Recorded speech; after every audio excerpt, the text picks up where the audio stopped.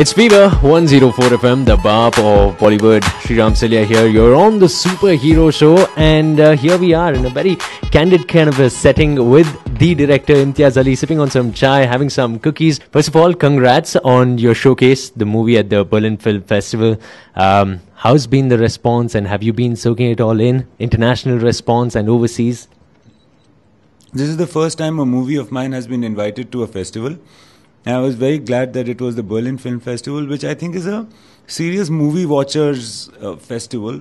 Um, and the the response was very heartwarming. I was very intrigued to see how how people who don't follow Hindi react to this movie, and uh, they were following it note by note, and they were reacting all at the right times. It was just the perfect audience, and the response that we got after that was very heartwarming. It was very thumping, and especially Alia got a lot of love. We were all very moved. We were very happy. And now, after this experience, I'd be happy to take my movies to festivals. Nice. Um, A.R. Rahman doing the music, we have been loving it. Um, we've been spinning the songs one after another. Um, this is the second time you're working with him. Yeah, uh, when I started this movie, I didn't really know how many songs there, there would be. In fact, I was thinking that I know that there's one song in it. I don't know if there's going to be any more. So I wasn't really offering it to him. But I, I'm, you know, kind of in touch with him, and he uh, was asking me what story it is, and I used to tell him the story, and I used to tell him the thought. Anyway, like a creative person, um, you know, that you bounce off things with. And uh, so then after a while he said, "Don't you want me to do this film?" And then I thought I didn't know, I didn't want to make an offer that you would refuse. Making him sing in Punjabi for the first time? That was his own idea. He was very excited about we. I had this Punjabi song in mind. So he so when I told him about the song and we used to discuss about what kind of song it will be, he himself said that I want to sing this. Usually it is something I used to in Rockstar persuade him to sing. Mm-hmm. And he would say, No, I, I don't think I should be singing here, type. And this time he said, I'm going to sing, and it is in Punjabi, and I'll really train hard and work very hard. And he said that he's been a fan of Nusrat Fateh Ali Khan for so long, and he's been listening to songs of his for 15 years. And so he has already an idea of how to sing in Punjabi.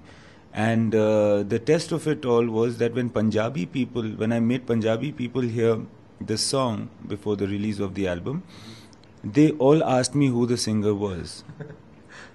and then they were very surprised to know that it was actually A.R. Rahman.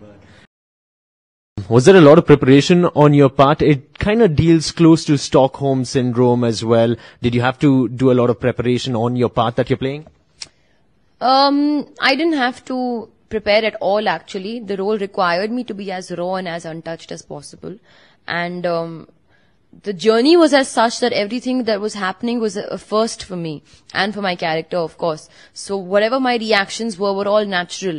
It was I was constantly reacting, and uh, that was what kind of molded my character and made the film. Uh, we have a mixed bowl of questions that have come in from a few celebrities. Um, but here's the deal though. Once you pick it, you have to answer it. You cannot say no or pass or any of that sort. Cool. So pick wisely. Okay. Who is the best debutant in the industry according to you, Parineeti Chopra? These questions actually she's asked? Yeah, man. I'm not making you. You think I'll make up these questions? You never know. You seem a little fishy. Who is the best debutant in the industry according to you? I would say you, Parineeti. Oh, how sweet. Okay, uh, why, why not pick uh, one more question uh, because this just seems fun and we want to go with it.